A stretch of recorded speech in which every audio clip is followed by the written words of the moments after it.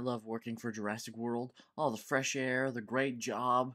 I get to train raptors, ride motorcycles. It's just amazing. Oh, where do you think you're going? Your job entails a whole lot more than just training raptors. You have waste management to do, sir. What are you talking about? Waste management? What?